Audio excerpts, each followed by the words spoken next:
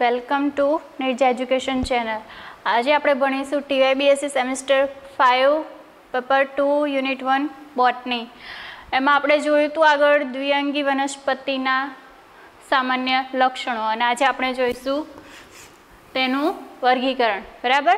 તો જોઈએ આપણે દ્વિઅંગી, બે અંગોથી બનેલી વનસ્પતિને દ્વિઅંગી કહેવાય છે. બરાબર? હવે દ્વિઅંગી વનસ્પતિના અભ્યાસને બ્રાયોલોજી કહેવાય છે, એટલે કે દ્વિઅંગી શાસ્ત્ર હવે આપણે આગળ જોયું હતું તે પ્રમાણે કે અઢારસો ને ચોસઠમાં રોબર્ટ બ્રાઉન નામના વનસ્પતિ શાસ્ત્રીએ દ્વિઅંગી શબ્દનો સૌપ્રથમ ઉપયોગ કર્યો હતો અને દ્વિઅંગી નામ આપ્યું હતું. બરાબર? તો હવે આપણે આગળ જોઈએ દ્વિઅંગી. તો દ્વિઅંગી વનસ્પતિની પ્રજાતિ નવસો ને સાહીઠ આપણને આ દુનિયામાં જોવા મળે છે, જ્યારે તેની જાતિ ચોવીસ હજાર જેટલી અસ્તિત્વ ધરાવે છે. બરાબર? આગળ જોઈએ તો દ્વિઅંગી વનસ્પતિમાં લીલ, ફૂગ, લાઇકેન અને મોસનો સમાવેશ થાય છે. પરંતુ અઢારસો ને ઇગ્નાએસીમાં સ્કીમર નામના વનસ્પતિશાસ્ત્રીએ દ્વિઅંગીને વિભાગનો દરજ્જો આપ્યો, જેથી લીલ, ફૂગ અને લાઇકેનને જુદી કરી અને આધુનિક સમયની દ્વિઅંગી વનસ્પતિનો સમાવેશ કર્યો. બરાબર? આગળ જોઈએ તો અઢારસો ને ત્યાસીમાં આઇકલર નામના જર્મન વનસ્પતિ શાસ્ત્રીએ દ્વિઅંગીને બે સમૂહમાં વિભાજિત કરી. એક છે હિપેટેસી અને બીજી છે મુસાઈ. તો આ જે બે વર્ગમાં વિભાજિત કરેલી વનસ્પતિ છે, તેને અઢારસો ને બાણુંમાં એંગ્લર નામના વનસ્પતિ શાસ્ત્રીએ ગોત્રમાં વહેંચી. તો આગળ જોઈએ તો વર્ગ હિપેટેસીના ગોત્ર છે. એક માર્કેન્સિયલ્સ, બીજું છે જંગરમેનિયલ્સ અને ત્રીજું છે એન્થોસિરોટેલ્સ. જ્યારે મુસાઈના ગોત્ર છે સ્ફેગ્નેલ્સ, એન્ડ્રિયલ્સ અને બ્રાઇલ્સ આગળ જોઈએ આપણે ડીબેરી જેંગજ્વેસ્કી અને અંડરવુડે હિપેટેસી વર્ગમાં મૂકવામાં આવતા ગોત્ર એન્થોસિરોટેલ્સને અલગ સ્થાને મૂકવા માટે હિમાયત કરી. જેમાં અઢારસો ને નવ્વાણુંમાં હોવે નામના વનસ્પતિશાસ્ત્રી અને અન્ય સંશોધકોએ જણાવ્યું કે એન્થોસિરોટેલ્સ અને હિપેટેસી એ વિશિષ્ટ લક્ષણોથી જુદા પડે છે. અને અંતમાં હોવે વનસ્પતિશાસ્ત્રીએ એન્થોસિરોટેસને હિપેટેસીથી જુદા પાડીને તેને અલગ દરજ્જો આપ્યો, જેમાં કેમ્પબેલ અને સ્મિથ નામના વનસ્પતિશાસ્ત્રીઓએ તેને ટેકો આપ્યો.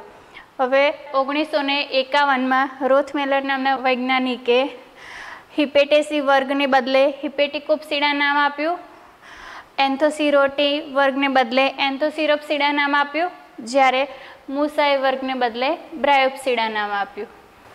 આપણે આગળ જોયું રોથમેલરે આપેલા નામ જે હિપેટિકોપ્સિડા, એન્થોસિરોપ્સિડા અને બ્રાયોપ્સિડા જે international code of botanical nomenclature એટલે કે આઈસીબીએને માન્ય રાખ્યા. છતાં પણ પ્રોસ્કવરે ઓગણીસો ને સત્તાવનમાં એન્થોસિરોપ્સિડાને બદલે એન્થોસિરોટોપ્સિડા નામ રાખ્યું. આપણે જોઈએ આગળ દ્વિઅંગી વનસ્પતિનું વર્ગીકરણ. આપણે આગળ જોયું તે મુજબ કે દ્વિઅંગી વનસ્પતિ એક વિભાગના દરજ્જામાં મુકાયેલી છે. તે ત્રણ વર્ગમાં વિભાજિત થયેલી છે. હિપેટિકોપસીડા, એન્થોસિરોટોપસીડા અને બ્રાયોપસીડા. હિપેટિકોપસીડાનું ગોત્ર છે માર્કેન્સિયલ્સ, એન્થોસિરોટોપસીડાનું ગોત્ર છે એન્થોસિરોટેલ્સ અને બ્રાયોપસીડાનું આપણે આગળ જોઈએ. માર્કેન્સિયસનું કુળ છે. માર્કેન્સિયસી જ્યારે એન્થોસિરોટેસ બે ભાગમાં વિભાજિત છે. એન્થોસિરોટેસી અને નોટોથાઇલેસી માર્કેન્સિએસીની પ્રજાતિ છે. માર્કેન્સિયા અને એન્થોસિરોટેસીની પ્રજાતિ છે. એન્થોસિરોઝ જ્યારે નોટોથાઇલેસીની પ્રજાતિ છે નોટોથાઇલમ હવે આપણે જોઈએ બ્રાયોપ્સિડા. તો બ્રાયોપ્સિડા પાંચ ઉપવર્ગમાં વિભાજિત છે. સ્ફેગ્નિડી એન્ડ્રીડી બ્રાઇડી બુક્સ, બોમિડી અને પોલિટ્રિકીડી. એનું ગોત્ર છે સ્ફેગ્નિડીનું સ્ફેગ્નેસ એન્ડ્રીડીનું એન્ટ્રિયલ્સ બ્રાઇડીનું ફ્યુનારિયસ બુક્સ, બોમિડીનું બુક્સ બોમિયસ અને પોલિટ્રિકીનું પોલિટ્રિકિયલ્સ. એનું કુળ છે ફેગ્નેસી, એન્ડ્રીએસી, ફ્યુનારિએસી, બુક્સ, બોમિડીનું કોઈ કુળ નથી. જ્યારે પોલિટ્રિકિડીનું કુલ છે પોલિટ્રિકેસી. તેની પ્રજાતિ છે સ્ફેગ્નમ, એન્ડ્રિયા, ફ્યુનારિયા.